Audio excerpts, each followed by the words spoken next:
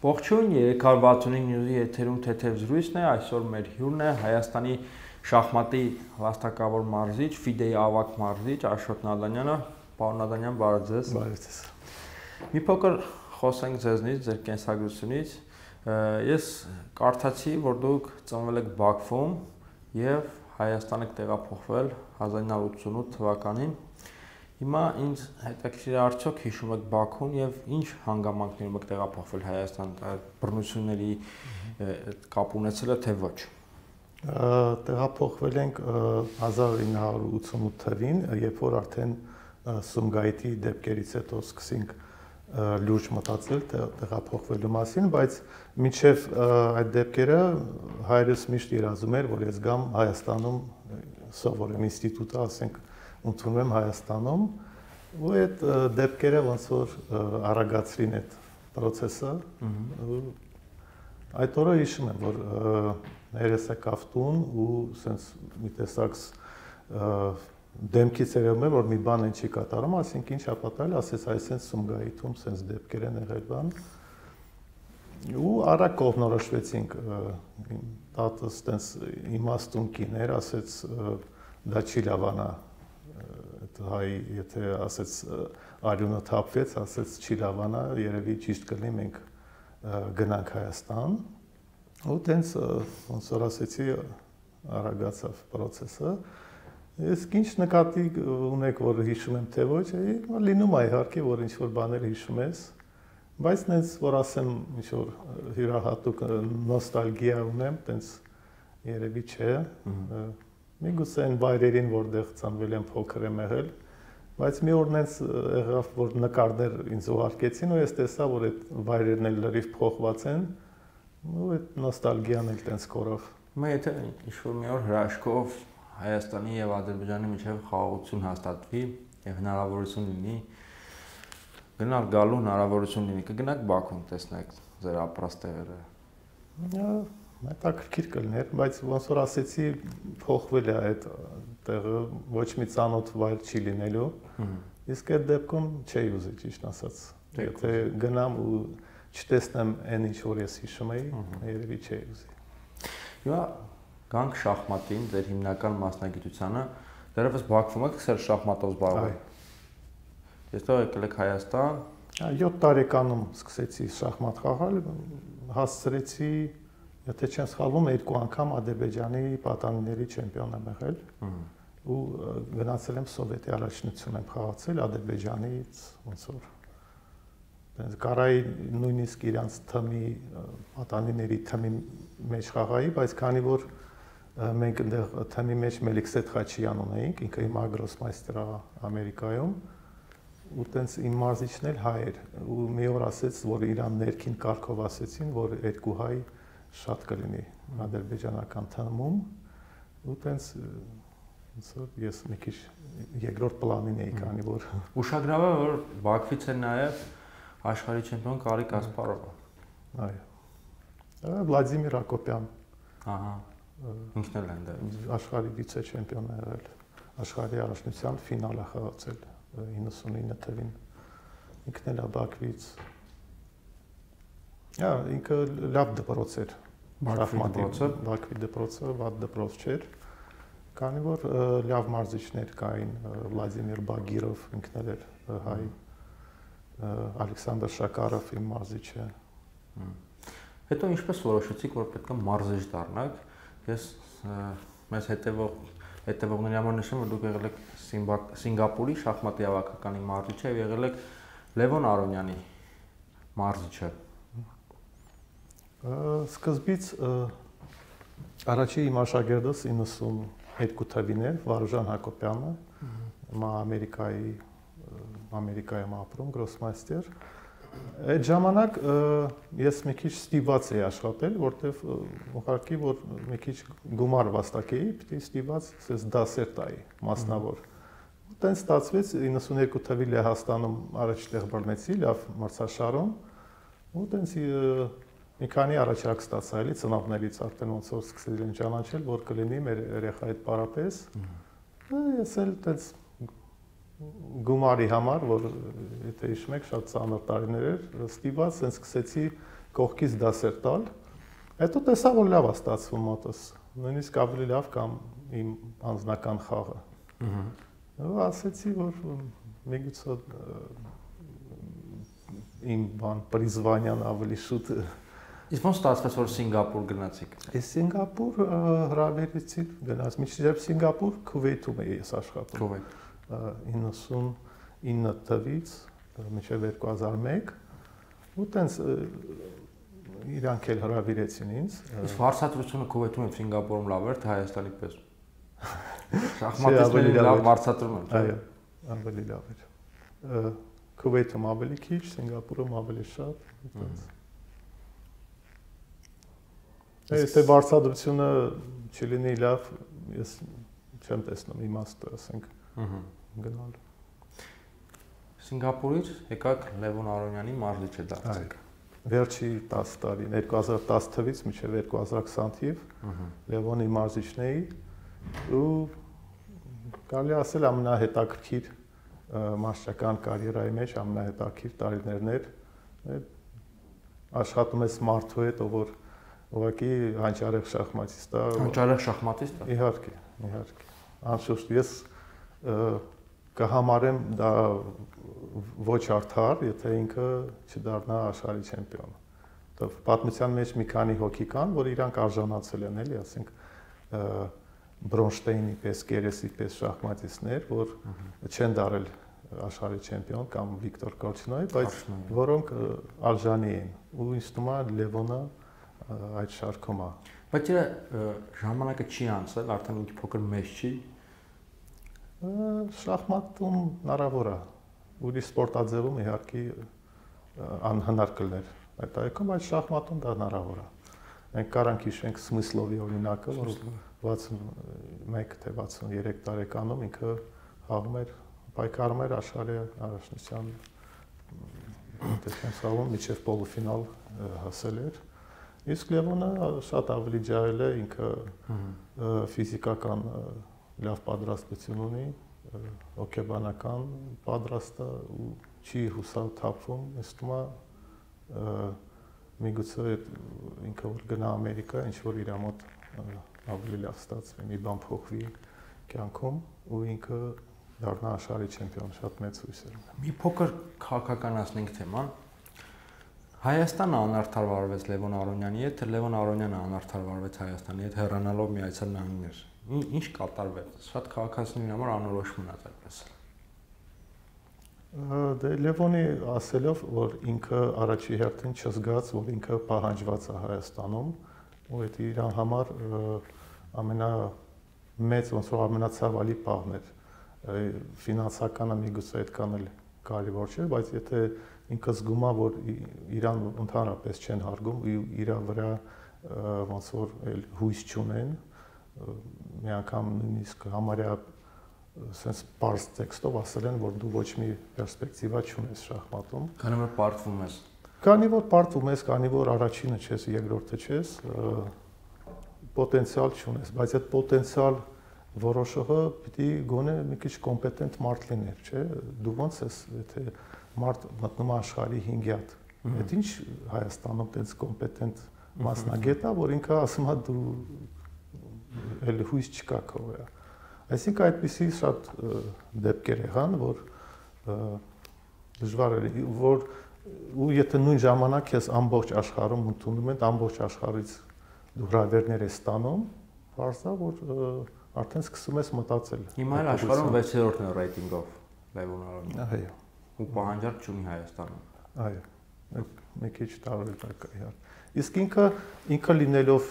շատ հայասեր մարդ իհարկե, բայց ինքը ունի մեգա երազանք, ասենք, այտենց ասենք, դառնա աշխարհի չեմպիոն։ Ինքը հասկանում է, որ սենց վերաբերմունքով ինքը չի կարած դառնալ աշխարհի չեմպիոն։ Սրա համար ինքը, ասենք, զոհաբերում է ինչ-որ բաներ։ Իրան շատ հաճելի է Երևանի փողոցներում, եք որ քայլում ենք, ինքը մեծ էներգիա է ստանում, իրան դուր էր գալի։ Հայաստանի երրորդ նախագահ Սերժ Սարգսյանը շատ բան է արել Հայաստանում շախմատի զարգացման համար։ Այո, շատ բան։ Շատ բան արել։ Իսկ բացի մենք տեսանք ինչ մեծ հաջողությունների հասանք 3 անգամ օլիմպիական չեմպիոն։ Դա նաև նրա վաստակն է։ Ինձ թվում է դա ընդհանուր, այո, ոգևորում է, եթե գիտես երկրի առաջի դեմքը անդադ քո կողքին է, անդադ ոսո բալետ անում քեզ ռուսերեն ասած, դու ավելի զգում ես, որ մեջքիդ հետևը հզոր մարդ կա, որը քեզ օգնում է։ Ինձ թվում է դա դա էլ օգնեց, որ թիմն էլ շատ ոգևորված։ Ոգևորված, ընկերական։ Իսեր Սարգսյանը լավ է շախմատ խաղում։ Նորմալ, լավ։ Հիմա անդադ խոսում եմ, որ շախմատը գտնվում է ճգնաժամային իրավիճակում։ Կապված համակարգիչների զարգացման իհայտ գալու հետ։ Հիմա նաև այսպեսի մի տեսակետ կա, որ շախմատը որպես գիտություն, որպես արվեստ, այլևս դադարել է, որպես արվեստ եւ գիտությունները մնացել է միայն սպորտը։ Այդպես է։ Ինձ թվում է նու միշտ ասում են որ շախմատը դա արվեստ է, սպորտ է եւ գիտություն է, չէ՞։ Հիմա ինձ թվում է արվեստն է դուժել էլի այդ համբյուտերների, համբյուտերները շատ ուժեղացան վերջի տարիներին ու արվեստի պահը կոնկրետ ինձ համար գորավ։ Ինձ թվում է սպորտը մնացել է, բան չի փոխվել եւ գիտական մոտեցումն էլ է մնացել, որտեվ ասենք ինչքան համբյուտերները հզորանան, այդքան մենք իմանանք վերջը վերջը այս խաղի, ասենք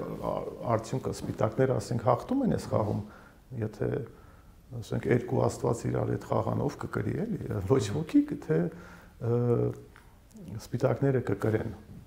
Ну, իմ կարծիքով ոչ ոքի կլինի, եթե այդ թեման խոսանք, բայց ուզեմ ասեմ, գիտական պահը կա, մենք չգիտենք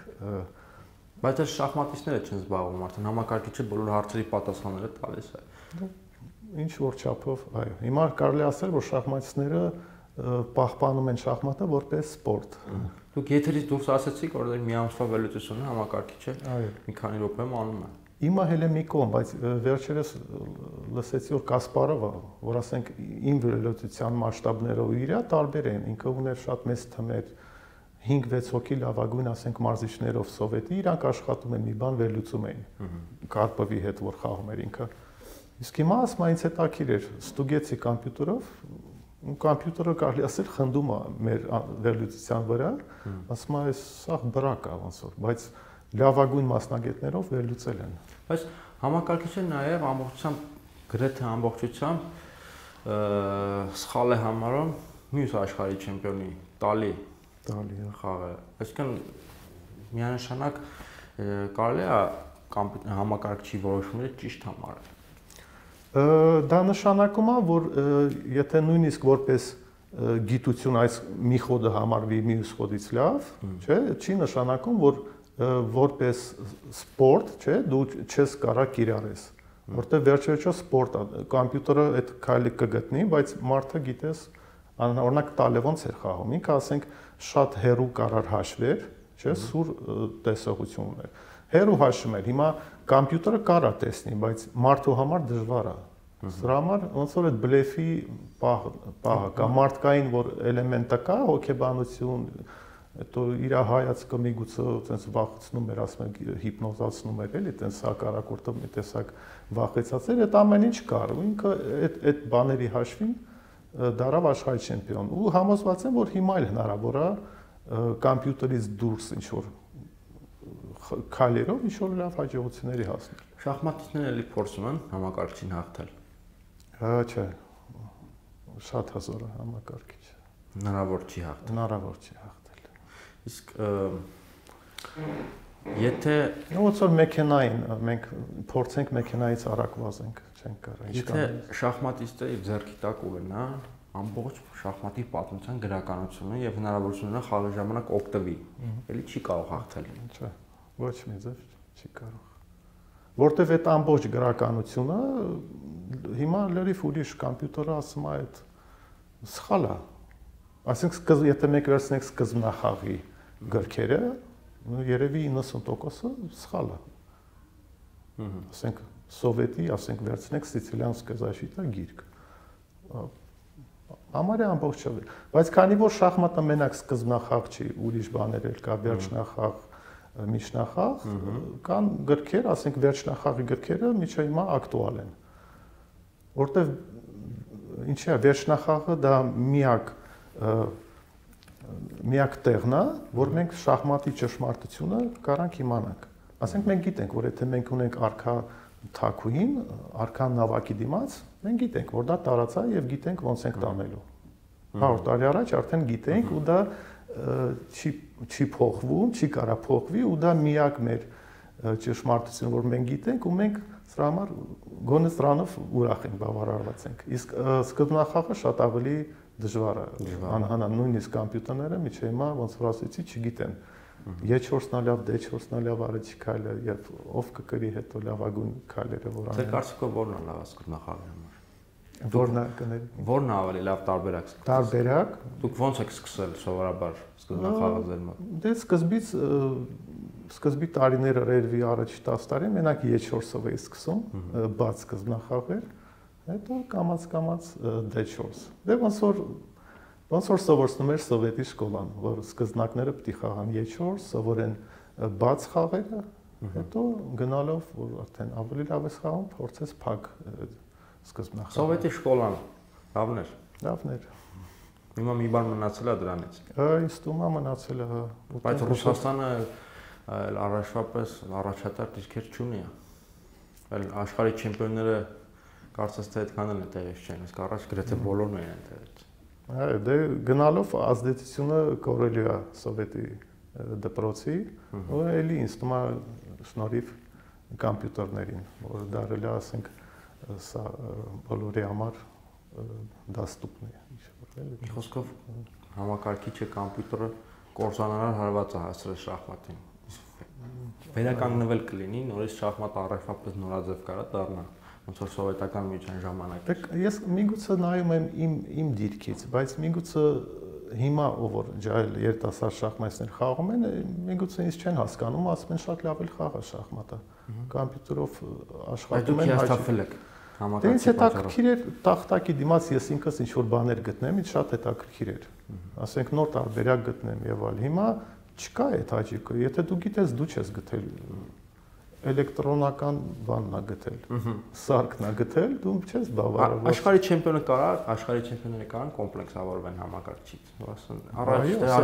առաջ աշխարհի չեմպիոնը, աշխարհի չեմպիոնը ինքը ամեն ինչ գիտեց, տախտակի վրա ամեն ինչի վերահսկում էր, իսկ հիմա կա մի բան, որ իրանից լավ է խաղում, կոմպլեքսավորում է դա մարդուն։ է դա, այո։ Ու է ուժեղ շախմատիստները չեն էլ փորձում խաղան, որ իրանց էգոն բան չլինի, հարված չստանա։ Որտեվ զգում ես ոնց որ դու սկզբնակին գրես, նույն ձևի համբյուտերն է քեզ գրում։ Ձեր կարծիքով որոնք են ամենաուժեղ պատմության մեջ ամենաուժեղ շախմատիստների երեքը կարող եք ներկայացնել ձեր համար։ Հետաքրքիր հարց է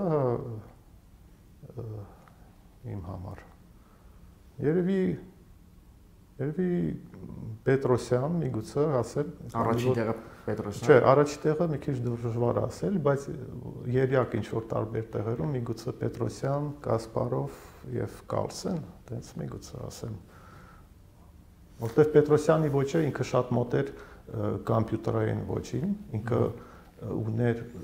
ամենակիչ սխալները իր ապարծաններում էր։ Պետրոսյանի նրա համար ասացիք, որտեղ հայ է։ Չէ, սրա համար մի քիչ կասկածեցի, ասեմ թե չէ, որ չմտածենք։ Եթե ասենք Պետրոսյան չասենք, Կարպով կասեի։ Իսկ Ֆիշեր։ Ֆիշեր կասեի։ Այ հայ, մի քիչ իրեք քիչ է։ Երևի հա Ֆիշերը ու Ալյոխինը իմ սիրած շախմատիստներ են, բայց ինձ թվում է Ալյոխինը համբյուտերային այդ ստուգումը չեր անցնի, էլի, տենց լավ։ Ինչի։ Այսինքն ավելի ինքը տալի մի քիչ մոտիկ ոչով էր խաղում, մի քիչ ակտիվ ագրեսիվ զոհաբերությունը, որոնք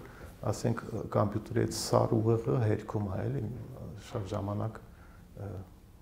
ավելի շատ են։ Իսկ Պետրոսյանի ոճը sense դանդաղ բան, ինքը ավելի sense ճկուն ոճ էր ու համբյուտերը չի կարող ինչ որ պրետենզիա ներկայացնել այդ խաղին, էլի տենց ասենք։ Բայց Պետրոսյանի ոճը ամետաքրքիր չի անհասկանալի է ավելի շուտ։ Կակրաս եզրային 3 դասի ժամանակ աշակերտներիս հետ այդ թեմայով խոսում էինք, որ ինքը անհասկանալի շախմատիստ է։ Մի հատ բարձր ենք նայում ու նույնիսկ ես տենց մեծ փորձ ունեմ, բայց ասում եի, բայց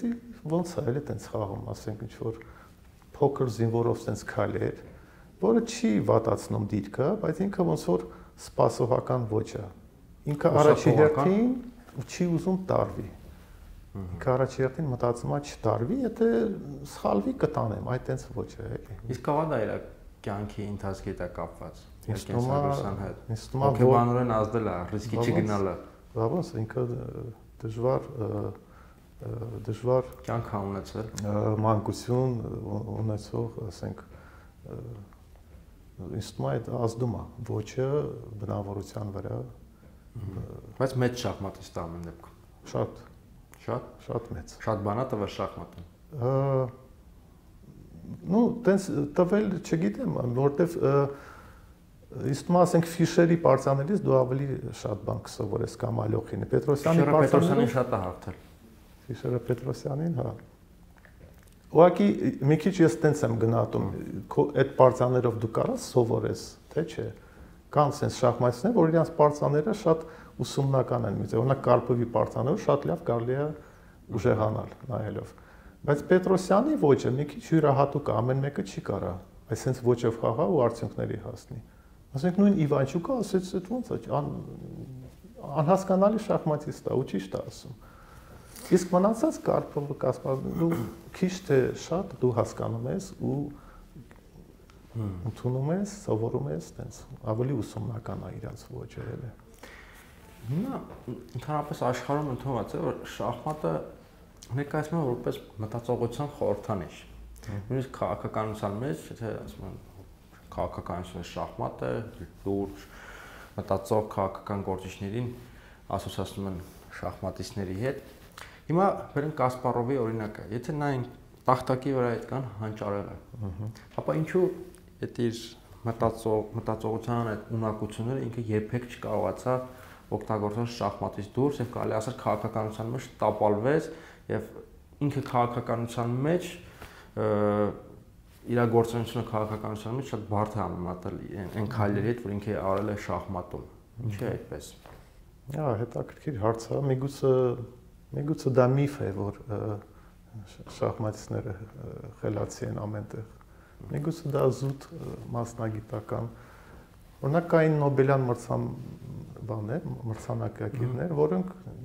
ընդունակ չեն եղել շախմատ խաղալ։ Բայց դա չի նշանակում, որ Ուղղակի երևի սպეციფიկ ինչ որ տաղանդ է։ Թե մեզ անդադ ասում են, որ մեր կյանքի քայլերը շատ նման են շախմատային քայլերին։ Ճիշտ է, հա, ճիշտ է։ Հիմա եթե Կասպարովը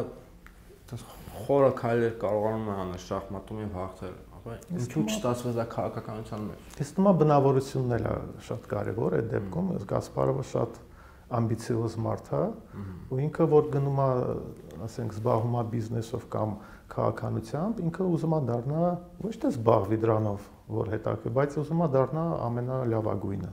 որը ուղղակի անհնար է դու ամենտեղ լինես լավագույնը այդ էգոն իր մոտ շատ բարձր է ամբիցիաները ու ինքը գնում է որ լինի լավագույն, որ իրան ասեն օ, այս ինքը լավագույնն է, բայց ամեն ինչի մեջ։ Ամեն ինչի մեջ, այսինքն մաքսիմալիզմը իրան խանգարում է։ Բայց շախմատում լավագույնը չդարձա կողմը։ Շախմատում իհարկե դարձա։ Բոլոր ժամանակների լավագույնը ինքն է։ Բոլոր ժամանակները չգիտեմ, բայց 18 տարի անըտ մեջ ինքը եղել է ուժահագույնը։ Ու Փալյուն աշխարհի չեմպիոններից մեկն է, անկասկած։ Հասկանում։ Բայց չես կարա դու ամեն ոլորտում լինես փայլուն։ Միգուցե դա է խանգարել, որ ինքը այդ մաքսիմալիզմը իրան խանգարել։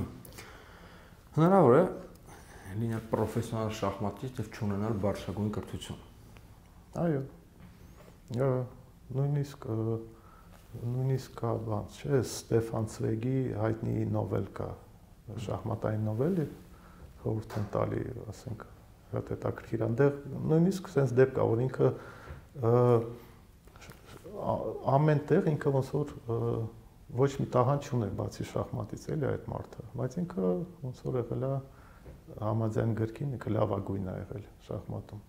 Այսինքն ամեն տեղ դու ոչ մի շատ վատ ես, անգրակ է դա ամեն ինչը վատ, բայց այսինքն կարող տգետ լինես, բայց լավ շախմատ խաղաս։ Հա, այդ մի քիչ կարող է զարմանալ լինելի, բայց Ну,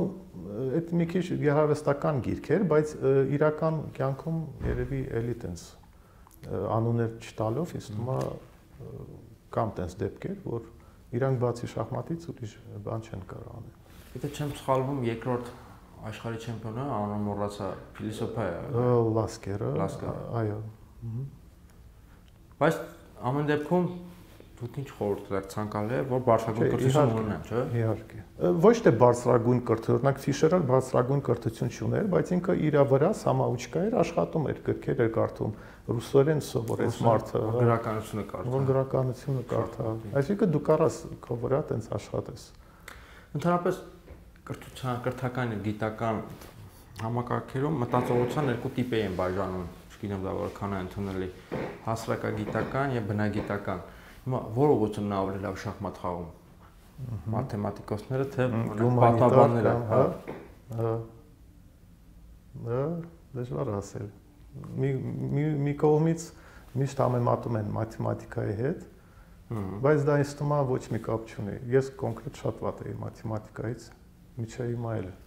մի բան միջև բազմապատկում եմ հոգիս ելնում է բայց մարդիկ կան որ կապում են իրար հետ կապում են ես ավելի շուտ կկապեի շախմատը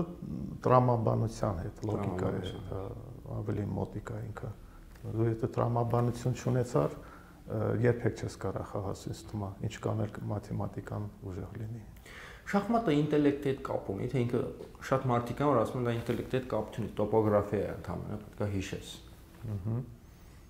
Դե նույն էլի համակարգիչները ապացույցում են, հա, որ ինքը ինտելեկտ պետք չի ունենալ։ Պետք չի։ Ուրիշ դե համբյուտերը, չգիտեմ, կա այդ իր այդ աշխատանքը 0-1-երով, հա, ոնց է այդ աշխատում։ Ինքը մենակ այդ բաներով հա, հաղթում է ամենալավ ուղեղներին։ Մի քիչ հա վատ ես քեզ զգում, բայց փաստորեն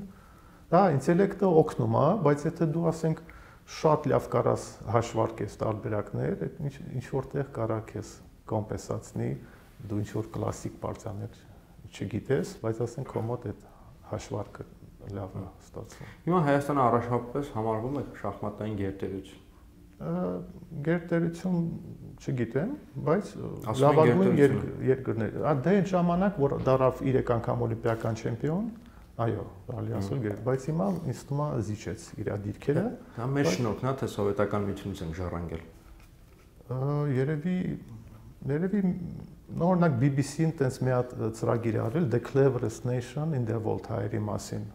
ասել է, որ չի կարա տենց եթե դու 3 օլիմպիադա ես կրում 3 միլիոն բնակչության, դու ուրեմն ամենախելացի ազգն ես։ Միգուցե կա տենց օլիմպիադան կարևոր բան է շախմատում ամենաբարձր բանն է, հա։ Ասենք օրինակ Իսրայելը ինձ թվում է չի եղել ոչ մի անգամ։ Բայց ինչքան շախմատիստները ծրը սովետական միություն։ Հա։ Հрьяներն է, թե ցակման պերը մի մասը։ Այո, բայց ամեն դեպքում